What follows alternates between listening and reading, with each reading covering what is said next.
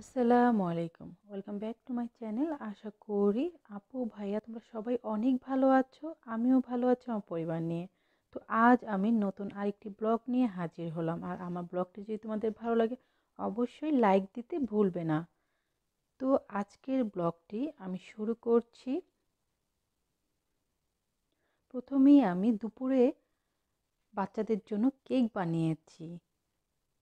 এবং এই কেকটা চকলেট কেক, আফনান অনেক চকলেট কেক পছন্দ করে। এর জন্য ভাবলাম ওর জন্য একটু বিকেলে নাস্তার জন্য চকলেট কেকটা বানিয়ে রাখি। আর কেকটা একটু আগে থেকেই আমি দুপুরের দিকে বানিয়ে রেখেছি যাতে করে ওরা চাইলেই বিকেলে খেতে পারে। এবং এটা কিন্তু চকলেট কেক, কিন্তু চকলেট কেকের সাথে আমি একটু টুটি ফুটি দিয়েছি। কারণ আপনার নোসাইবা টুটি ফুটিটা পছন্দ করে আর নিজেরাই খাব, কোনো সমস্যা নেই, একটু টুটি ফুটি দিয়েছি। আর টুটি ফুটিটা দিলে কিন্তু দেখতেও সুন্দর লাগে। বাচ্চারা যেমন পছন্দ করে আর বাচ্চাদের পছন্দের ব্যাপারটা কিন্তু আমরা মায়েরা খুব বেশি খেয়াল রাখি এবং আজ আমি কেকটা বানিয়েছি এবং কিছু টুটি ফুটি আমি দিয়েছি। কেকের মাঝে এ কারণেই এগুলো নিচে এসেছে।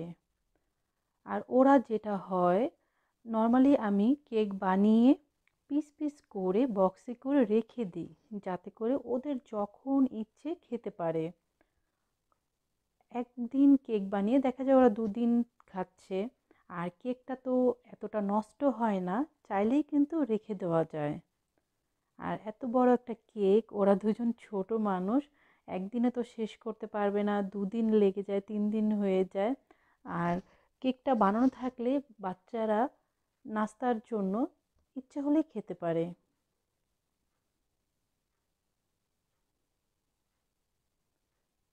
তো দেখছ, আমি স্লাইস করে নিচ্ছি এবং কেকটা কিন্তু সফট হয়েছে এবং এই ধরনের কেক কিন্তু বানিয়ে যদি টুটি ফুটিটা না দেওয়া হয় এবং স্লাইস করে ক্রিম দেওয়া হয়, তাহলেই কিন্তু এটা ক্রিম কেক হয়ে যায়।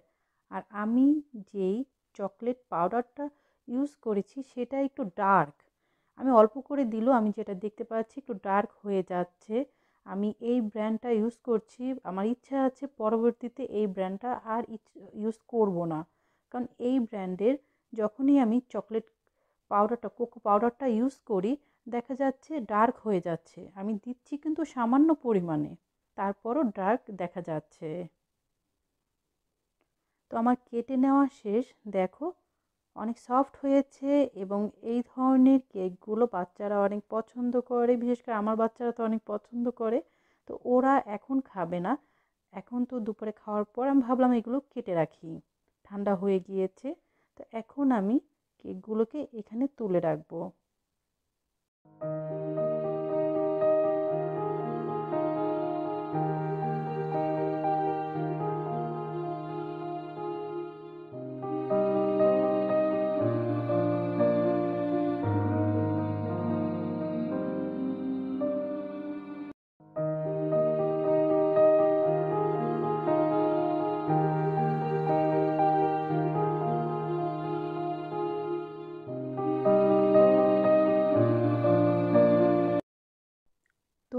ছোট ছোট পিস করে কেটে নিয়েছি এবং সবগুলো কেক তুলে রেখেছি যাতে করে ওরা বিকেলে, সন্ধ্যায় বা রাতে যখন খেতে চায় বাচ্চারা তখনই খেতে পারবে। আর তোমরাও চাইলে কিন্তু বাসায় এভাবে বানাতে পারো। তো এখন সন্ধ্যার সময় বাচ্চাদেরকে, আফরানকে হোমওয়ার্ক করাতে বসালাম, পড়াতে বসালাম। ও এখন পড়ছে এবং আমি এখন এই আনার ছুলে নিব। কারণ হলো আনার প্রতিদিন এভাবে আর আনার ছুলতে আমার কাছে খুবই বোরিং লাগে। এবং এখানে আছে চায়না, অরেঞ্জ। এই অরেঞ্জগুলো অনেক ছোট ছোট হয়, বাট খেতে কিন্তু অনেক ভালো লাগে। কোনোটা দেখা যাচ্ছে একটু সুইট বেশি, কোনোটা একটু টক টক। বাট বিশেষ করে আমার নুসাইবা খুব পছন্দ করে এই অরেঞ্জগুলো। অরেঞ্জগুলো দেখতে অনেক ছোট হয় তো, ওর কাছে খুব ভালো লাগে। তো ও খাবে। আর এখন আমি যেটা করব, আমি আনারগুলোকে ছুলে নেব। আর আনার ছোলাটা আমার কাছে খুবই বিরক্ত আর আমার কাছে খুবই অপছন্দের একটা কাজ। কারণ অনেক টাইম লাগে এবং আমি আনারগুলো কিন্তু ছুলেছি, এক দেড় ঘণ্টা লেগেছে আমার। পাঁচটা থেকে ছয়টা আনার আমি ক্লিন করলাম। এই যে দেখতেই পাচ্ছ, এখানে সবগুলো ক্লিন করা হয়েছে এবং অনেক সময় লেগেছে আমার। খুবই বিরক্ত লেগেছে, এটা আমার একটা বিরক্তর জিনিস। তারপর কি করা? বাচ্চাদেরকে তো একটু জুস করে দিব যাতে খাওয়াটা কিন্তু অনেক ভালো। আনার জুসটা কিন্তু খাওয়া অনেক ভালো। বাট এটা ছুলতে আমার খুবই কষ্ট লাগে। তো যাই হোক, আমি জুস করে নিয়েছি এবং ব্লেন্ড করার পর কিন্তু এটাকে ছাঁকনি দিয়ে ছেঁকে নিয়েছি। কারণ নিচে কিন্তু অনেক বিচিগুলো থেকে যায় এই জন্য ছাঁকনি দিয়ে ছেঁকে নিতে হয়। আর আনার জুস বাচ্চারা কিন্তু একটু চিনি দিয়ে খায়, আমি চিনি দিয়ে খাই না। কারণ চিনি দিয়ে খেলে সুগার দিলে আর এটার পুষ্টিগুণ কতটুকু থাকল বা সুগার কম খাওয়াই বেটার আমাদের জন্য। এই কারণে আমার জন্য আর আফরানের বাবার জন্য এখানে আমি নিয়ে নিচ্ছি, এটার মধ্যে কোনো সুগার নেই এবং আফনান নুসাইবের জন্য যেটা, সেটার মধ্যে আমি সুগার অ্যাড করব।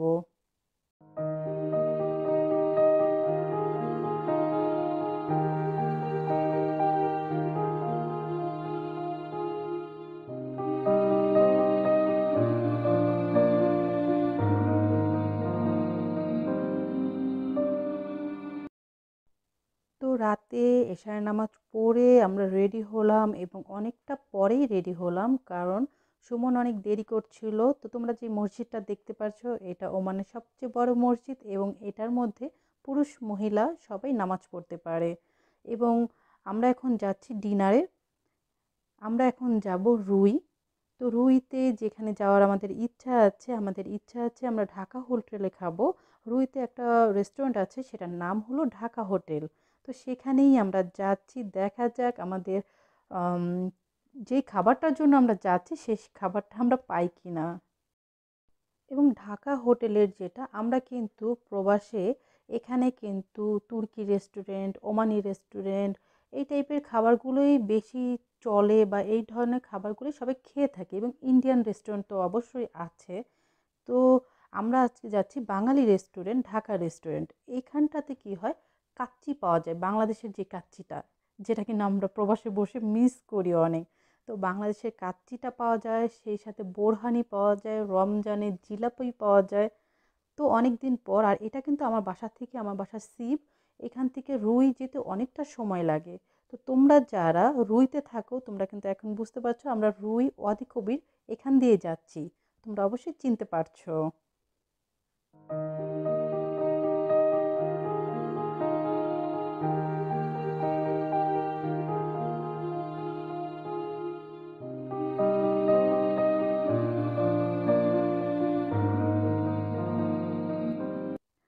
আমরা চলে এসেছি বাট এটা কিন্তু ঢাকা রেস্টুরেন্ট না। আমরা প্রথমে যেটা হয়েছে, আমরা ঢাকা রেস্টুরেন্টে গিয়েছি। বাট সেখানে যেয়ে দেখি আজ কোনো কাচ্চি নেই বা অন্যান্য আইটেমের মধ্যে ওদের চিকেন বিরিয়ানিটা আছে। তো এত দূর থেকে আমরা এসেছি ওদের কাচ্চিটা খাওয়ার জন্য। এই কারণে আমরা সেখানে আর ওয়েট না করে রুইতেই ওয়াদি কবিরে, এটা একটা পাকিস্তানি রেস্টুরেন্ট এবং এখানকার গ্রিল অনেক মজার, এখানে মাছ পুড়িয়ে দেয় চিকেন পুড়িয়ে দেয় এবং এর আগেও কিন্তু আমি এখানে এসেছি এবং আমার আরেকটি ব্লগ আছে, তোমরা চাইলে সেটা দেখতে পারো।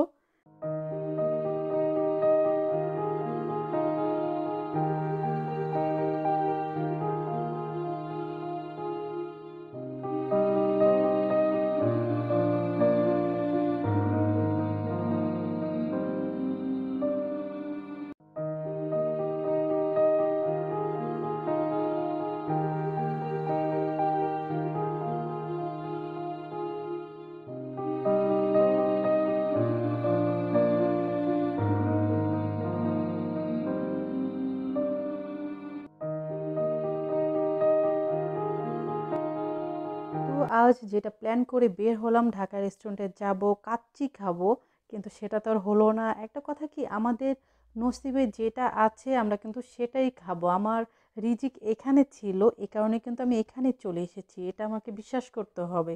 কারণ আমরা কিন্তু ঢাকা রেস্টুরেন্টেও গেলাম, সেখানে যেয়ে যখন দেখলাম কাচ্চিটা নেই দেন ডিসিশন নিলাম যে না, আমরা এখন অন্যটা চলে যাব।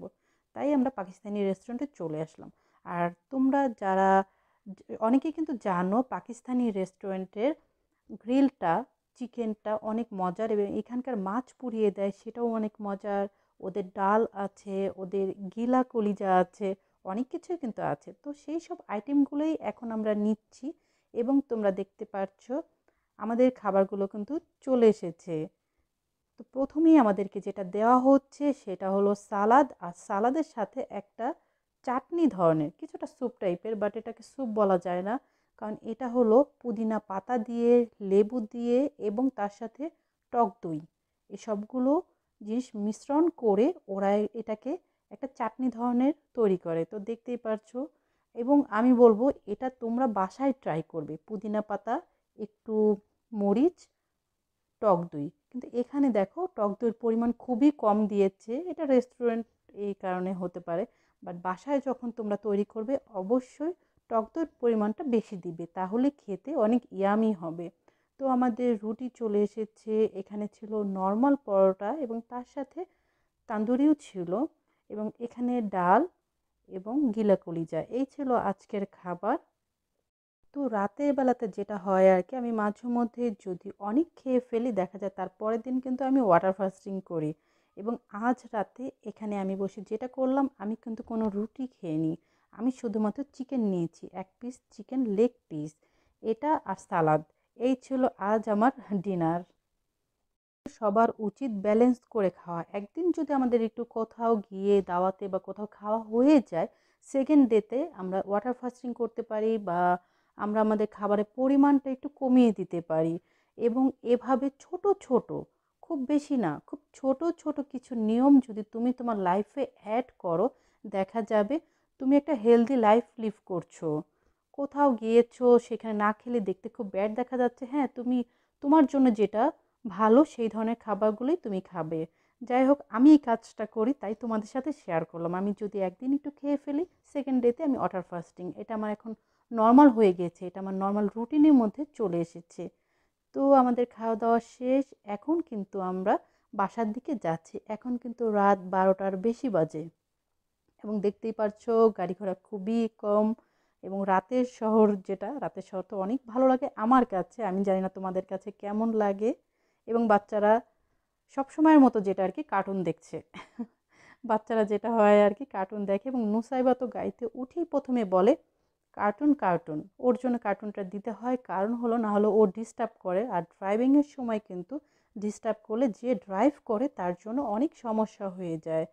তো আমরা এখন বাসার দিকে যাচ্ছি। আশা করি তোমাদের আমার ব্লগটি ভালো লেগেছে। ভালো লাগলে অবশ্যই একটি লাইক দিতে ভুলবে না। আজকের মতো এখানেই রাখব। আল্লাহ হাফেজ!